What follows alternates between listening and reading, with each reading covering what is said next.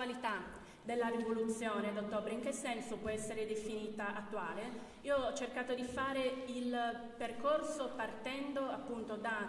un discorso ehm, perché cercano di farci dimenticare la rivoluzione. Faccio un esempio, io fa, parto da una generazione che è stata bombardata in una maniera molto sottile, permettetemi di dirlo, ributtante, con una eh, vera e propria antipropaganda. Possiamo citare proprio così en passant eh, il cartone Anastasia della Disney dove gli operai vanno a tirare le, le, i mattoni sulle finestre del palazzo d'inverno perché sono stati presi da un incantesimo, non è colpa loro, perché la rivoluzione solo gli stregoni possono farla. Ci hanno propinato il dottor Givago come documento storico e mh, mm, mi sono chiesta perché questa contropropaganda e riflettendoci, una volta poi che ho iniziato i miei studi, i miei lavori, sono partita dall'immagine del rivoluzionario del bolscevico come uomo senza volto, cioè ci viene sempre presentato, mai focalizzato sul singolo, sempre questa massa quasi imbarbarita che agisce contro i, i buoni, i borghesi, eh, nel caso del, del, cartone animato per bambini va a colpire, cos'è che colpisce di più un bambino? L'idea di un bambino che viene strappato dalla famiglia, gli viene distrutta la casa da questa eh, massa senza nome. Ma quando noi andiamo a vedere i documenti storici scopriamo che erano tutt'altro senza nome, perché la rivoluzione è stata una forza che ha come levato il coperchio, come di una pentola a pressione, di un popolo che per secoli, secoli, secoli è stato continua, continuamente messo a tacere, è sempre stato zittito, gli è sempre stata le, mh, limitata qualsiasi libertà di espressione. E quando è saltato questo tappo, questo popolo improvvisamente ha detto io voglio parlare, io oggi voglio parlare. E nasce un fermento culturale che colpisce in realtà tutte le fasce della popolazione. Qual è l'unica chiave necessaria? che essi sentano dentro la rivoluzione. Se possiamo fare un esempio, un nome chiaramente, sicuramente noto a tutti, io qui mi spingo forse un po'. Secondo me noi dobbiamo Majakowski alla rivoluzione, perché il giovane Majakowski quando incontra la rivoluzione a 24 anni ha comunque delle gravi crisi, ha già, non ha tentato il suicidio però ne parla spesso, comunque, è una persona alla psicologia instabile. L'unica cosa che lo salva secondo me è la rivoluzione, questo sogno della rivoluzione che, su cui lui getta tutto se stesso. Ma lasciando perdere Majakowski, possiamo, andando a vedere eh, le riviste,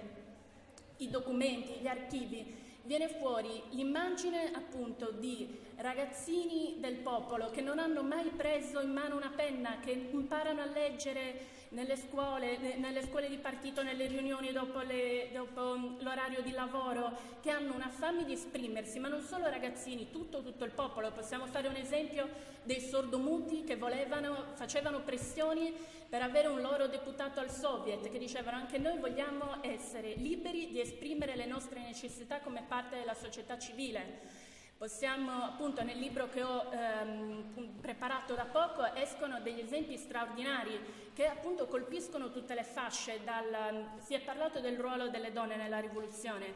colpisce una ragazzina di 16 anni, una operaia, una, proprio una popolana che parte e decide di unirsi all'esercito rosso durante la guerra civile, può colpire invece un intellettuale, una poetessa molto raffinata come Larissa Reisner, che in realtà non aveva nessun vero motivo per abbracciare con tutto il calore con cui ha fatto eh, la causa della rivoluzione. Lei parte, diventa fra l'altro la segretaria di Trotsky e diventa la comandante della flotta fluviale rossa, una donna, una cosa che per quell'epoca era assolutamente incredibile, ma dietro, perché ho citato appunto la ragazzina di 16 anni, Marussia Riabinina, che fa parte di uno dei racconti,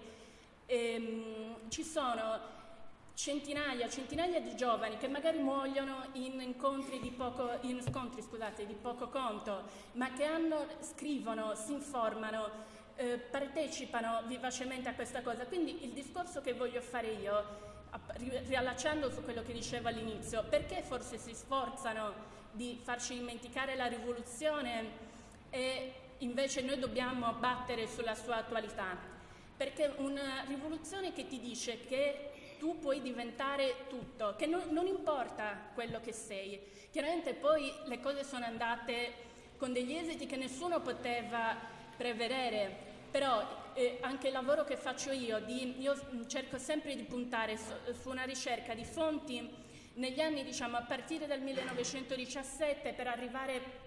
ai limiti della NEP fino al 22, che è la, mh, una delle parti più prolifiche, più avventurose, che però è stata totalmente dimenticata dalla storiografia. Perché? Perché quando è venuta poi la cappa di ferro staliniana erano troppo bizzarri e fantasiosi per poter essere inseriti nel contesto del realismo socialista.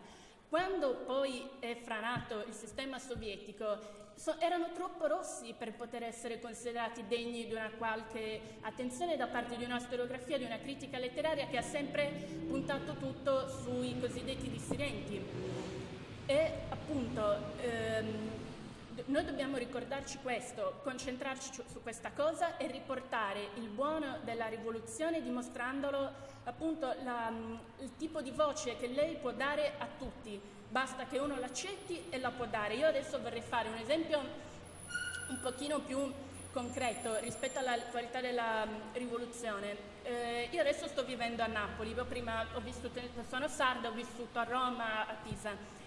e sono entrata in contatto con delle realtà molto interessanti che sono i compagni dell'ex OPG Liberato Iesso Pazzo e dello Spugnizzo Liberato, due centri sociali a Napoli che svolgono un'azione veramente dal basso, ma loro dicono qui dove lo Stato non c'è, perché agiscono in quartieri del centro dove non, non c'è nulla, non c'è la sanità, non c'è l'asilo pubblico, è tutto